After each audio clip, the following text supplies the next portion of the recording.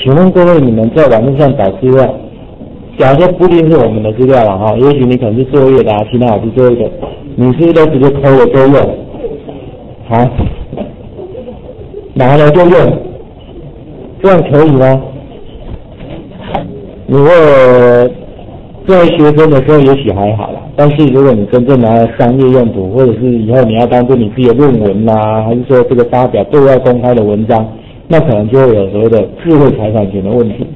啊，不管是图片也好，还是那个，那所以呢，在这边有一个教育部有一个计划叫做创用信息。事实上，这个并不是教育部本身的，而是全世界的。也就是说，因为我们现在会遇到很多问题，你有没有注意到最近苹果啊跟哪一家公司都有专利权在打架？啊，对啊，你知道为什么吗？啊？现在还有啊，他没弄完呢。其实不只是他，你你们知道你们的滑鼠，你们的滑鼠，请问这个滑鼠我们是要用的是这三个按键的，加上滚轮的。你有没有发现苹果的没有？苹果的它没有滚轮吗？它现新的有一种是只有，就是只有一个，好像我们那个笔记型电脑这样触控面板的，有没有？那个那个，其实三个按键的滑鼠是被微软注册的，所以笔文不能用三个按键的。所以苹果它只有两个，顶多两个。另外，你们有没有发现什么？我们我们这个东西，我们作业系统叫做什么？是不是叫 Windows？我跟你讲，Windows 有加 S 的这个是微软的注册商标。所以敌人不能用，你了解意思吗？所以敌人在用的时候，它只能叫 Windows，Windows 就没关系，因为 Windows 是我们一般的窗户嘛，对不对？你了解的？其实有很多东西你们都没有注意到，像为什么他们会有那些专利权？你看，哎，你们有些同学不是有那个智慧型手机的吗？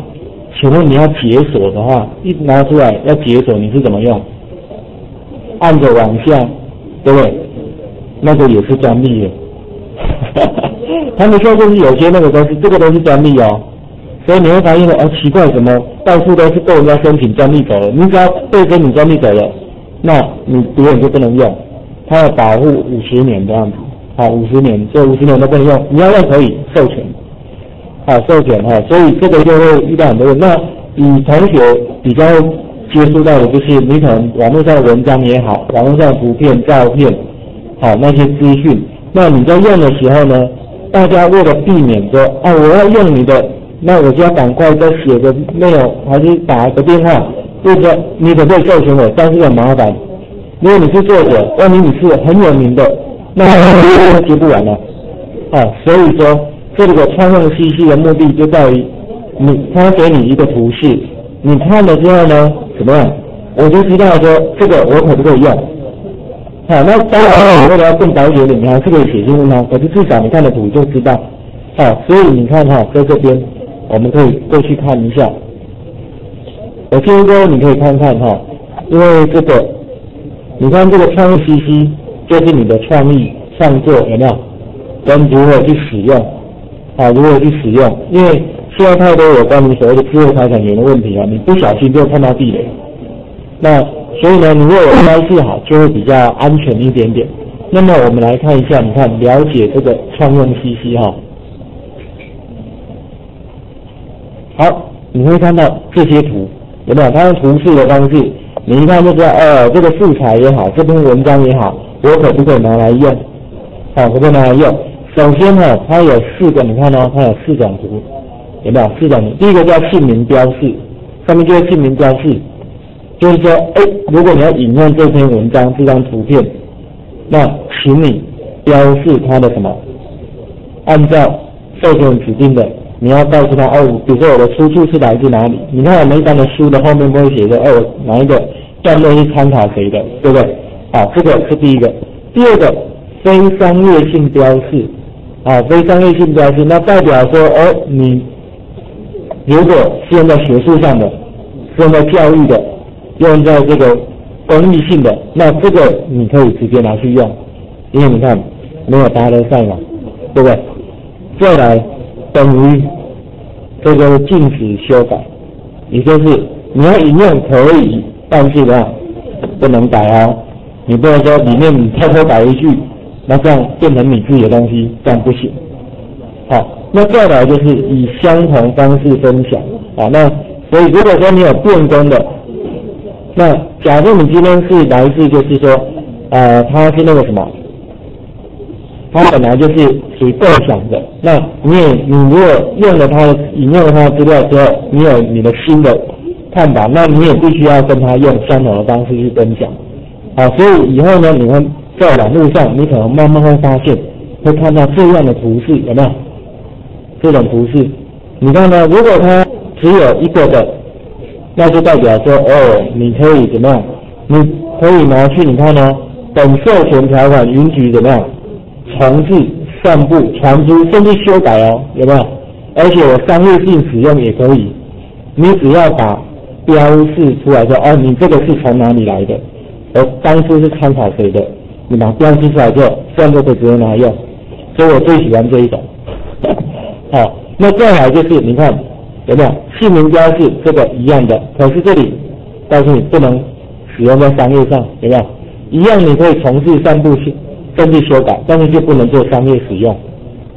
好，那另外下面这个一样，甚至它我们刚刚看的有没有有禁止修改的在这里？好，所以你看到这样子之后呢，当然以后你如果你有特殊的意见，或者是那个拍的影片呐、照片呐，你也想要分享，也可以用这种方式去分享出来。其实 YouTube 现在也有哦，你们可能没有特别注意过而已啊。YouTube 现在那种影网站也有，所以你看看我们刚刚找的这个，有没有发现这里有这个东西？有没有看到了？好。所以有些网站，哎，这个新闻标志呢，好，它告诉你不能用在商业性使用，有没有？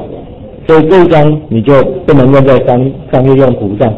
但是你可以把，比如说我觉得哪个地方不满意，啊，这个花这边我不喜欢，我就只加这边，这样可以。啊，或者这个颜色上的修正啊，都没有关系。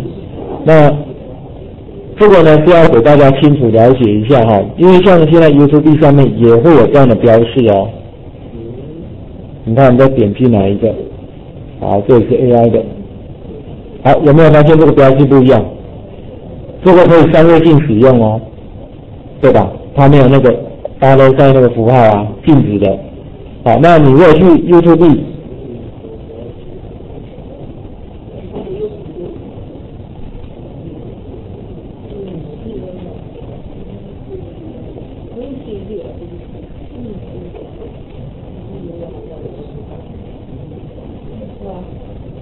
这个可能没有，这个我不确定，看看它有没有。它有些现在都会标示哈，这个还没有。像我之前在上上传影片的时候，现在就有标示，就是说你的影片是属于哪一种的，尤其是你自己创作的，好，因为你现在自己创作的呢，它可以跟你共享所有的广告收益，也就是说你有好的节目，有没有？好的节目呢，你放到 YouTube 上，哎，一样可以哈。那这个通用 CC 里面呢，各位你可以顺便看一下 CC 素材的搜寻有没有？